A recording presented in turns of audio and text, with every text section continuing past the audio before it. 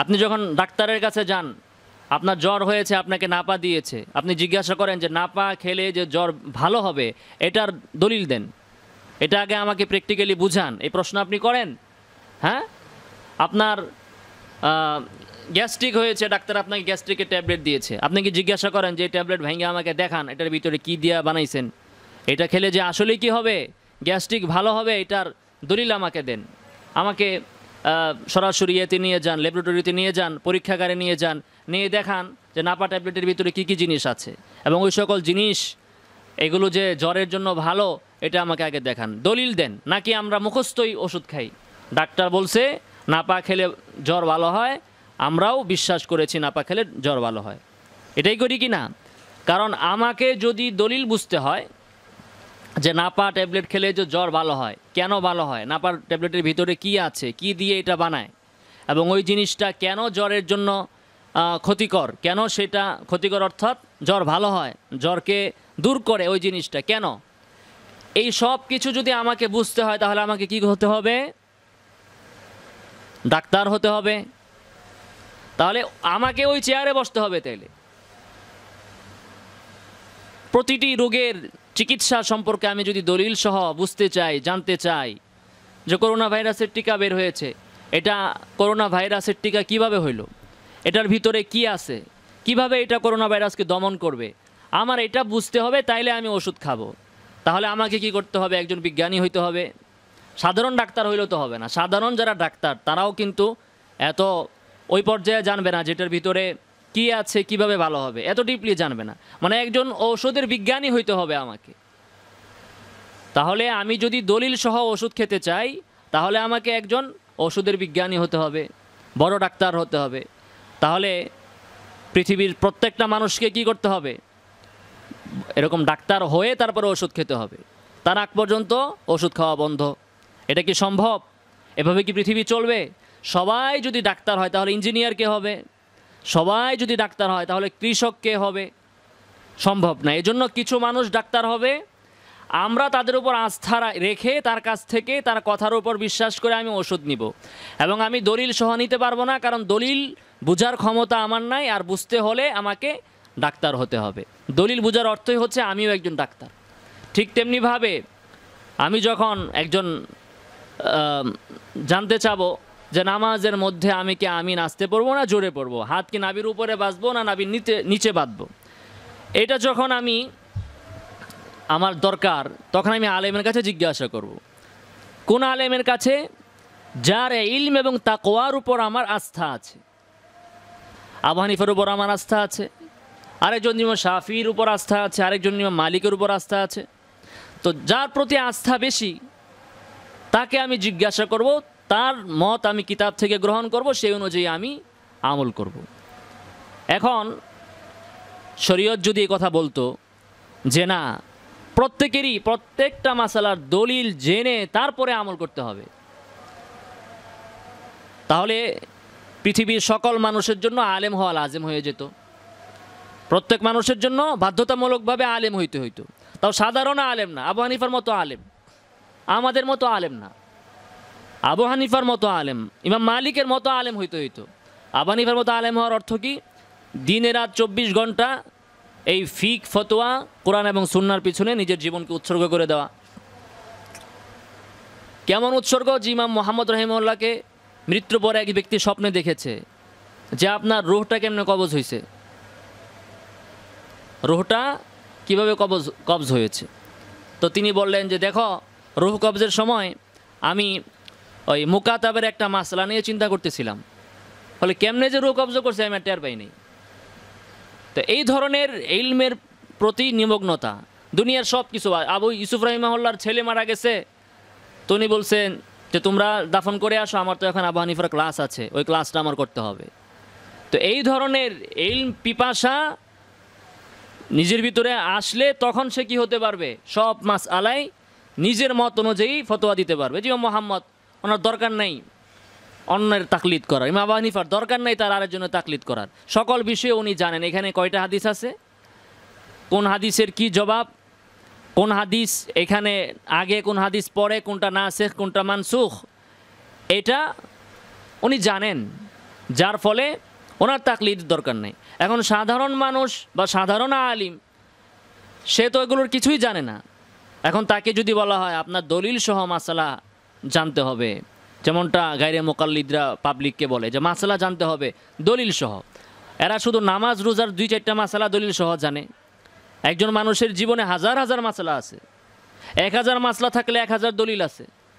মানুষের বিবাহ, মানুষের ব্যবসা বাণিজ্য, মানুষের স্ত্রী সহবাস, মানুষের খাবার দাবার সব কিছুর বিষয়েই তো মাসালা, দলিল আছে, মাসালা আছে। তো দলিল সহ যদি মানুষ দুই হাজার মাসালাও মুখস্থ করে। আলেমেরই তো দুই হাজার দলিল মুখস্থ নাই। তাহলে পাবলিকের থেকে মুখস্থ থাকবে?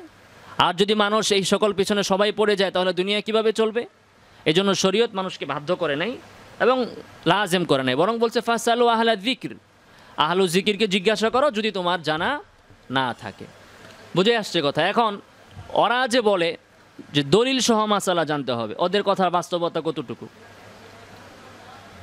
যেমন আহলে হাদিসদের একজন, তাকে আপনি জিজ্ঞেস করবেন, আমিন। বলছে, আমিন, জুড়ে বলতে হবে দলিল এটা। এরা মনে করে এতটুকুই শুধু দলিল। এবং দলিল কোনটা? ওই দলিলটা সে উচ্চারণও করতে পারবে না। শুধু বাংলা বই থেকে দেখেছে বা বলতে পারে, বোখার শরীফের এত নম্বর হাদিসে আছে। তো নাম্বারের নাম কি দলিল? বোখারি শরীফের এত নাম্বার হাদিসে আছে। নাম্বারের নাম্বারের নাম তো দলিল না। এরপরে দলিলের মূল ট্যাক্স আরবি, সেটাও সে জানে না, অর্থ করতে পারে না। এবং এখানে একটা হাদিস, এর বিপরীত যে আরও হাদিস আছে, এবং সেখানে ওই সকল হাদিসের মধ্যে কি কথাবার্তা আছে, কোনো কিছুই সম্পর্কেই তার কি নাই, জ্ঞান নাই। এইভাবে জীবনের প্রতিটি বিষয়ে এখানে পক্ষে, বিপক্ষে হাদিস থাকে, উভয় ধরনের হাদিস থাকে। সেই হাদিসগুলোর মধ্যে ইমামরা সমন্বয় করেছেন। কারও কাছে মনে হয়েছে এই হাদিস না শেখ, ওই হাদিস মানসুখ, কারও কাছের বিপরীতটা মনে হয়েছে। এইভাবে ওনারা সমাধান করেছেন। এখন এই সকল সমাধান জানার নাম হচ্ছে দলিল জানা। শুধুমাত্র আমি যে মত মানি, ওই মতের একটা হাদিস নাম্বার শুধু শিখলাম, ওই হাদিসের নাম্বার শিখলাম, হাদিসটাও শিখলাম না, হাদিসের ভাষাও শিখলাম না, হাদিসের অর্থ আমি নিজে জানি না। শুধুমাত্র নাম্বার জানি, যে জোরে আমির বলতে হবে, বোখারি শরীফের এত নম্বর হাদিস। অথচ বোখারি শরীফের মধ্যে দেখা যাবে যে এটা বোখারি শরীফের কোনো হাদিসও না, শিরোনাম। তাহলে পাবলিকের তো এতটুকু পার্থক্য করার এই ক্ষমতা নাই যে এটা কি বুখারি শরীফের হাদিস না বুখারি শরীফের শিরোনাম। ইমাম বোখারি অনেক সময় শিরোনাম আনছে, জোরে আমিন বলা সংক্রান্ত শিরোনাম। ভিতরে হাদিস আনছে যেটা, ওইটা জোরে আমিন বলা সম্পর্কে কোনো বক্তব্যই নেই। এখন একজন গাইরে মোকাল্লিদ তাকে শিরোনাম দেখাইছে, এই যে দেখো বুখারি শরীফের মধ্যে আছে, জুড়ে আমিন বলতে হবে। কথার কথা, এই ধরনের মাসালা। এই ধরনের অসংখ্য বিষয় আছে বুখারি শরীফে, ইমাম বুখারি শিরোনাম আনছেন ওনার যে মত, সে মত অনুযায়ী। কিন্তু এর অধীনে উনি হাদিস আনতে সামর্থ্য হন নাই। কারণ এর অধীনে স্পষ্ট হাদিস নাই। এজন্য হাদিস আনতে পারেন নাই। যে হাদিস এনেছেন, সেই হাদিস এই ওনার শিরোনামকে দ্ব্যর্থহীনভাবে প্রমাণ করতে ব্যর্থ। আহলে হাদিসরা তথাকথিত আহলে হাদিসরা গাইরে মোকাল্লিদরা মানুষকে বিভ্রান্ত করবে। দেখো, এই মাসলা বুখারিতে আছে। দলিল কি? দলিল হচ্ছে বুখারি শরীফের শিরোনাম। শিরোনামটা বাংলা থেকে সে দেখাইয়া দিবে। এখন পাবলিক তো দেখছে যে বুখারি শরীফের ভিতরে একটা লাইন আসলেই তো এমন আছে। কিন্তু ওই লাইনটা কি রাসুলের বক্তব্য না ইমাম বুখারির দেওয়া শিরোনাম? এই পার্থক্য করার ক্ষমতা তো পাবলিকের নেই। তো এমন হচ্ছে পাবলিক তার দলিল বুঝার সামর্থ্য হচ্ছে এমন। তো এমন ব্যক্তিকে যদি আপনি বলেন যে আপনার দলিল সহ মাসলা জানতে হবে, তাহলে নির্গাত এটা তার জন্য কী হবে? একটা জুলুম হয়ে যাবে। এজন্য শরীয়ত দলিল মানাকে লাজেম করে নেয়। এখন আপনি যখনই গাইরে মোকাল্লিদদেরকে এই শুরুর যুগে বা প্রাচীনকালে তাবিদের যুগে, সাহাবিদের যুগে যখন নাকি মাঝহাবগুলো সংকলিত হয়নি, তখন মানুষের যে সকল প্রয়োজন তাদের সামনে আসতো তারা ওই সকল বিষয়ে ওলামায়ে কেরামকে জিজ্ঞাসা করতেন। কেননা সাধারণ মানুষের জন্য, সাধারণ মানুষের এই ক্ষমতা নেই যে সাধারণ মানুষ কোরআন এবং সুন্না থেকে সরাসরি মাসআলা বের করে সে অনুযায়ী আমল করবে। এই সক্ষমতা সাধারণ মানুষের আছে? সাধারণ মানুষের এই সক্ষমতা নাই। অতএব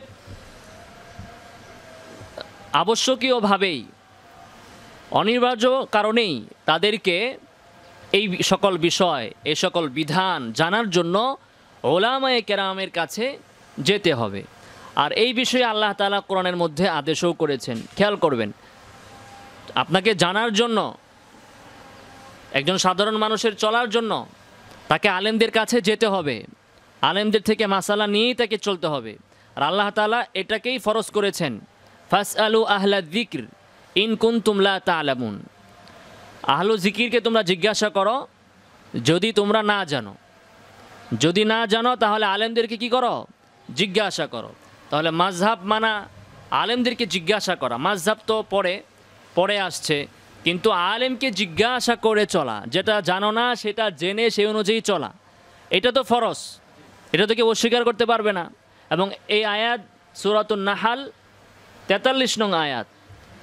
এই আয়াত দ্বারাই এই কথাটা সাব্যস্ত হয়। যতক্ষণ পর্যন্ত একজন আলিম, একজন মুফতি, মাউসুকুন বিআইলমিহি ওয়া তাকওয়াহু এলমের দিক থেকে আস্থাভাজন হবেন। আপনার আস্থা আছে যে এই আলেমের এই মাসআলা দেওয়ার মতো সক্ষমতা আছে, এলেম আছে এবং তার তাকওয়ার উপরও আপনার আস্থা আছে যে না তিনি দুনিয়ার কারণে ভুল ফতোয়া দিবেন না। তিনি মানুষকে খুশি করার জন্য বা মানুষের ভয়ে বা দুনিয়ার কোনো স্বার্থে তিনি ভুল ফাতোয়া দিবেন না। এই আস্থা যদি আপনার থাকে, ফালাম ইয়াকুনু ইউতালিবুনা বিদ্দালিল আলা মা ইয়াকুল। এতটুকু আস্থা থাকলে তার কাছে আপনি দলিল চাবেন না।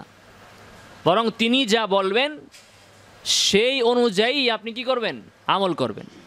তার কাছে দলিল চাবেন না। যে এটার দলিল কি? কারণ দলিল তো আপনি বুঝবেন না।